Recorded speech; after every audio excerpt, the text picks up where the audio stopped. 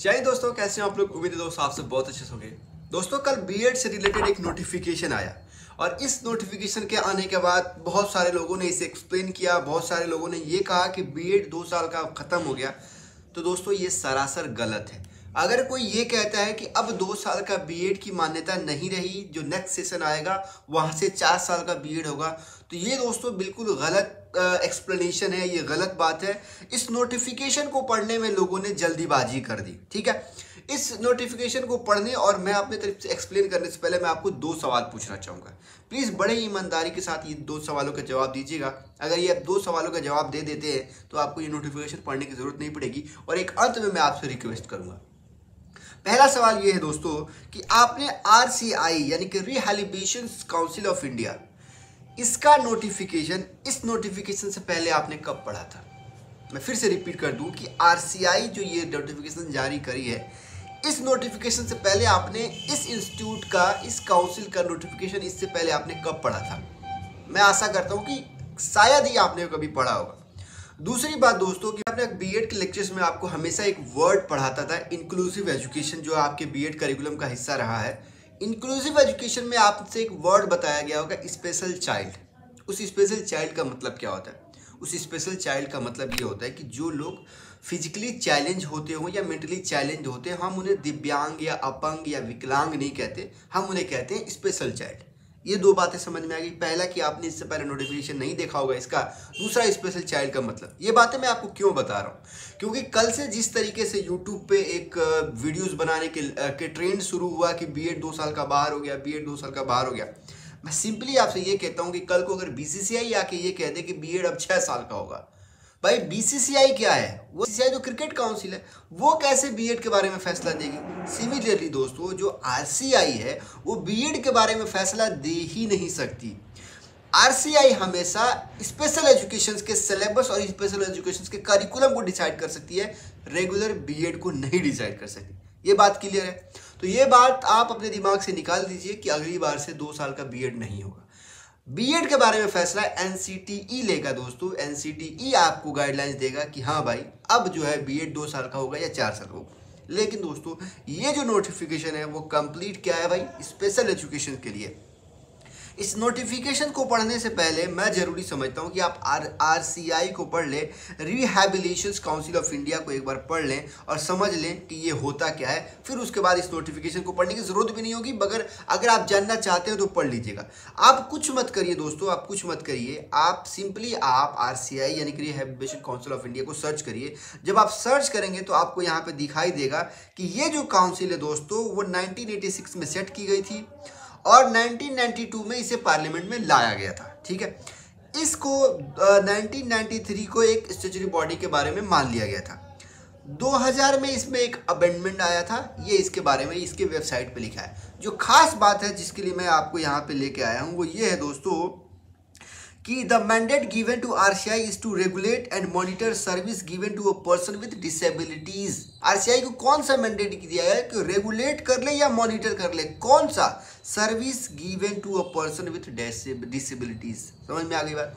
मतलब क्या है कि इंडिया में जो भी पर्सन है जिसे कुछ डिसेबिलिटीज हो, उसके बारे में कुछ फैसला लेना। आगे यहाँ पे लिखा हो गया disability to standardise the syllabus and to maintain the central rehabilitation register for all the qualified professional and uh, professional working in the field of rehabilitation and the special education बात समझ में आ गई दोस्तों आपको rehabilitation के बारे में और special education के बारे में ये इसको मॉनिटर कर सकता है ये इसको रेगुलेट कर सकता है नॉर्मल बीएड के बारे में ये इंटरफेयर नहीं कर सकता ये पूरी स्टैचुरेट बॉडी समझ में आ गई दोस्तों?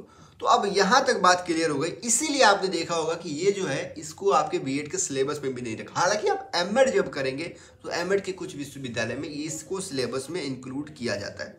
जब ये नोटिफिकेशन आया टू बी वेरी ऑनेस्ट इस नोटिफिकेशन को पढ़ने से पहले मैंने पढ़ा कि ये आरसीआई है क्या? तो यहाँ से मुझे पता चला कि ये जो है दोस्तों डिसेबिलिटीज़ कह लीजिए या स्पेशल जो चाइल्ड होते हैं, उनके लिए सिलेबस बनाना, उनके लिए करिकुलम बनाना, उनके लिए क्राइटेरिया तय करना, ये वो काम करता है।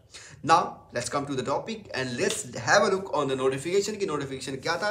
एज इट इज़ जैसे मैंने आपको बताया in order to upgrade the competency of teacher the national curriculum of teacher education N C T has launch a integrated teacher education programme I T E P under the new education policy 2020 अब यहाँ तक बात ये है कि जब आप कोई बात कहते हैं यू you नो know, तो थोड़ा सा पीछे की माहौल बनाते हैं। तो आर सी आई एक माहौल बना रहा है कि भाई देखिए एनसीटीई जो है वो इंटीग्रेटेड कोर्स लेके आ रहा है, या उसकी मनसा है कि इंटीग्रेटेड कोर्स लाए। ये बात तो सही है तो इसने माहौल बना दिया। एन 2020 के अनुसार एनसीटी जो है वो एक नई NCT जो इंटीग्रेटेड कोर्स लाने है। ठीक ये माहौल बन गया। In which the duration of B Ed programme has been increase from the two years to four years and this continued giving approval of two years B Ed programme for the academic session अब यहाँ तक बस माहौल बनाया गया कि NCT भैया, ऐसा है ना कि आप वो दो साल के कोर्स के बजाय चार का कोर्स कर रही है तो मैं भी क्या करूँगा? कौन? आरसीआई मतलब मैं किसके लिए भाई? बीएड के लिए नहीं बीएड के लिए तो आपका फैसला एनसीटी लेगा। मेरे अधिकार क्षेत्र में जो है, वो है स्पेशल एजुकेशन के लिए, उसको मैं चेंज कर रहा हूँ। कहाँ चेंज कर रहा हूँ? साफ़ तौर पे लिखा है कि दिस काउंसिल हैज़ डिसाइडेड समझ में आ गया? ये काउंसिल ने डिसाइड किया है new approval of any institute for running two year B Ed special education programme बस बात खत्म। बस बात खत्म भाई।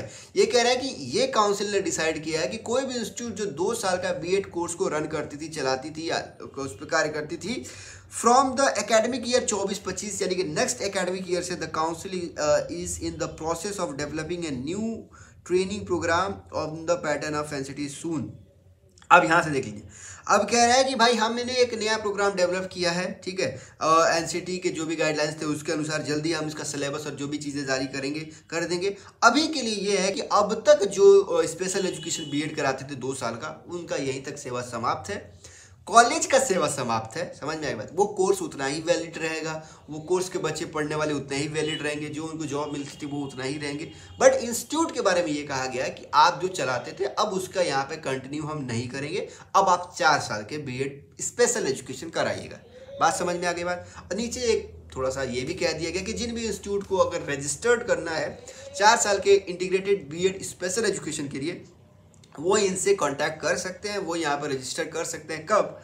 कब कर सकते हैं भाई? May apply for the next academic session once the online portal is open जब ये ऑनलाइन पोर्टल ओपन हो जाएगा। तो यहाँ तक बात हो गई किसकी भाई?